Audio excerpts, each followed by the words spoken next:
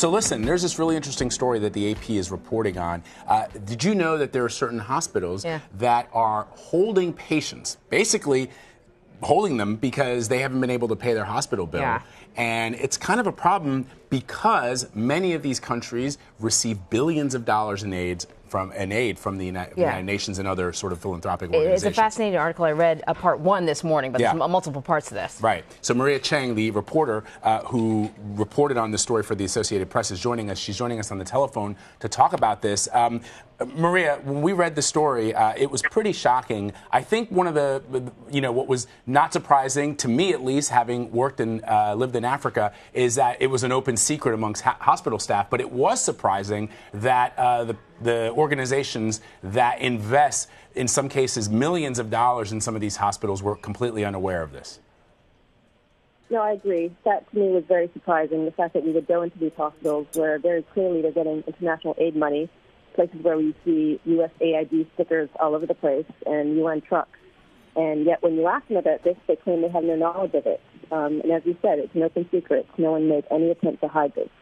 So, Maria, let's sort of go back to the basics because Vlad and I have had the luxury of, of reading your article, and it's a really well put together article. But I think when people hear hostage in a hospital, just just leave. Uh, you know, so t- like, give us the basics about what this is about. There's about a thousand people, I think, in Kenya that cannot leave the hospitals. Um, well, that's that's based on the estimates that we have. That Okay. the biggest hospital there probably has a few hundred patients that they are basically detaining and keeping from leaving because they have not paid their hospital bills. So if these people try to get up and walk out of the hospital, they would be stopped by armed guards. Um, and, and they're also holding, you know, bodies of patients, so families can't even bury their loved ones when this happens.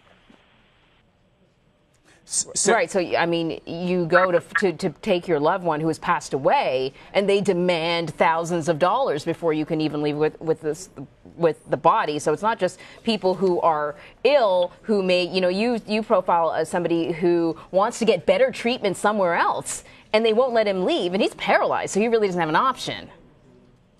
Yeah, that's correct. I mean, there are lots of patients who have been treated as much as they can be treated and would like to go elsewhere, or they're fully recovered and they want to go home, but they haven't been able to pay their bills, and the hospital is just refusing to let them go, even though this is not something that generates a huge amount of income for them. They- just want to do it to prevent people from coming in and thinking they, they could leave without settling their bills. Hmm.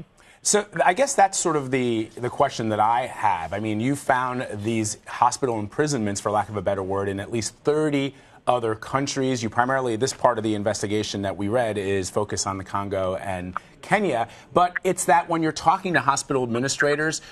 It's it's the impression that many oftentimes Western journalists have, right? That you'll talk to somebody about an issue that is really, really important to people outside of the country who are interested in what is happening in that one particular country, and they're like, "What's the big deal? Mm. I'm not hiding anything. This is what we do because we don't want people to take advantage of us." Is that what you discovered when you were doing your reporting?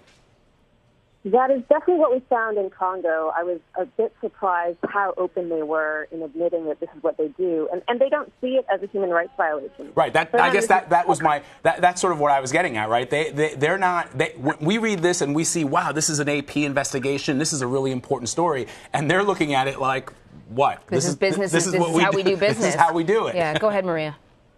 Exactly. I, I agree completely. And I think for me, what was surprising was we might not have confidence in governments where, you know, the rule of law is not very strong. I wouldn't necessarily expect the Congolese government to be on top of this, but I would expect international donors, agencies like the UN and CDC, um, and donor countries to know better and demand better that patients are not having their human rights violated like this. So then, have you received any sort of response from the United Nations or any other health agencies? Uh, nothing specific. I mean, they're all aware of it, um, and and they will say that they don't approve of it. Um, but no one's given any indication that they are going to actually try to monitor this or even tell the countries, please stop imprisoning your patients. Stop imprisoning your patients. It's Wow. just so bizarre. Maria Cheng, uh, some incredible reporting. Uh, we appreciate your time. Thank you so much. Thank you very much.